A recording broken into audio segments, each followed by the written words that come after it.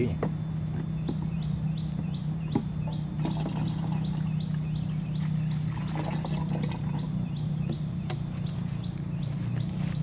Assalamualaikum warahmatullahi wabarakatuh. Selamat pagi kawan-kawan. Kita akan beraktivitas menyadap kelapa hari ini. E, Sebenarnya saya tiap hari melakukan ini Tiap pagi ya. Dan saya juga dibantu oleh teman Teman lagi naik tadi di sana tugas saya sudah selesai dari pagi tadi. Bagian masang-masangin si ininya si jerigennya. Teman saya yang satunya lagi belum ini belum selesai. Dan sekarang kita akan mengumpulkan air niranya di saung dan kita akan menggodoknya ya menjadi gula ini gula merah. Dan yang dipasang sekarang itu diambilnya besok. Oke, kita kembali ke saung untuk mengolah air nira menjadi ini gula merah.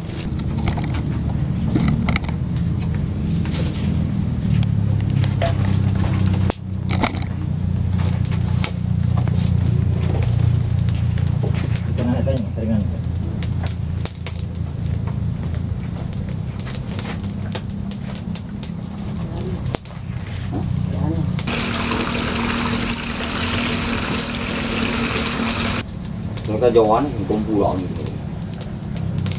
Bukan saya berarti kami tahu lah.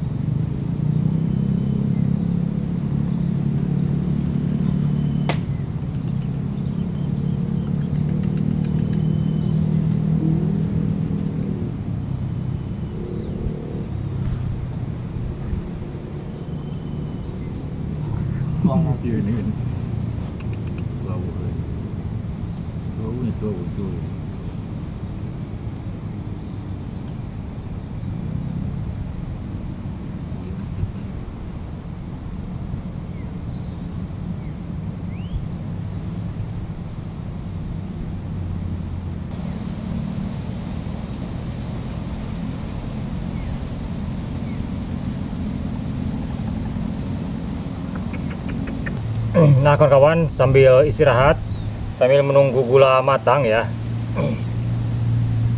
kita main-main dulu dengan ini nih. Cari. Ini kawan musang grase atau musang dedes kalau orang Sunda bilang. Anak musang dedes ini saya dapatkan dari kawan. Kawan menemukan di kebun di pinggiran sawah ya karena Musang dedes ini habitatnya di sawah biasanya, suka nyari makanannya di sawah. Dan biasanya mereka bersarang di ini di jerami ya, jerami bekas padi. Ini juga ketika kawan ini apa membersihkan sawah, memisahkan jerami ya dari sawah, itu ada di, bawah jerami katanya. Lalu saya adopsi karena kawan tidak bisa ini tidak bisa selalu standby ya untuk mengurus hewan karena dia ada pekerjaan juga. Jadi saya adopsi saja dan kita rawat sampai besar mudah-mudahan mereka survive besar besar. Nah dia pengen makan. Mata gue udah kasih makan.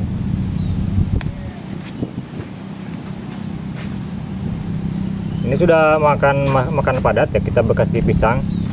Pisang jimluk Musaras ini hewan omnivor segala dimakan. Dia daging dimakan buah juga dimakan. Nah untuk bayi seperti ini kita nggak kasih pisang pisang jimluk yang pisang untuk bayi itu.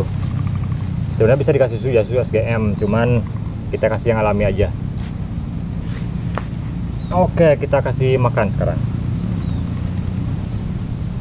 Sebelumnya saya juga pernah rewat musang ya dua kali dari kecil juga.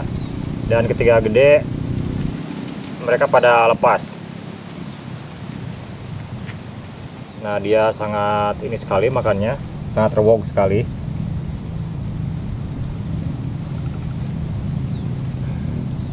Makan woi makan makan. Wih mantap. Ini tuh jangan ah makan. Good.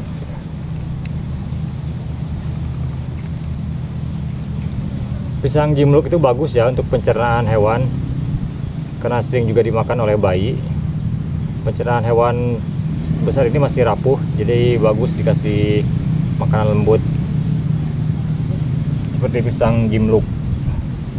Ini usia baru beberapa minggu kayaknya. Entah sebulanan.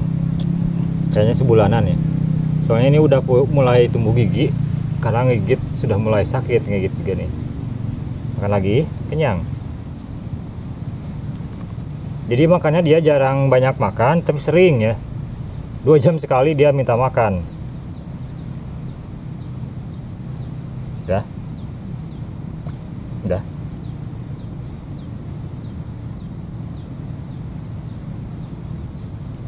main lagi. Main lagi. Dia sudah mulai nurut kawan-kawan kalau dipanggil suka nyamperin. Cuman belum dikasih nama nih.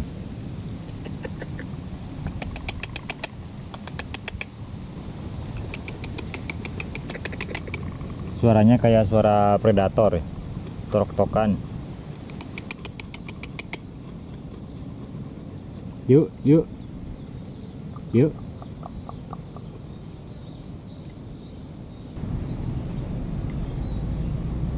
ini yang bungsu nih. Ini yang ini yang paling lincah. Kalau yang ini yang kakaknya itu paling doyan makan. Banyak makannya. Gigitnya lumayan sakit.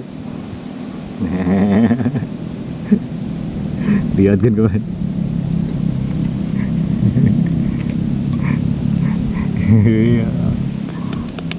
tek tek tek tek tek tek tek. Tuk-tuk-tuk-tuk-tuk.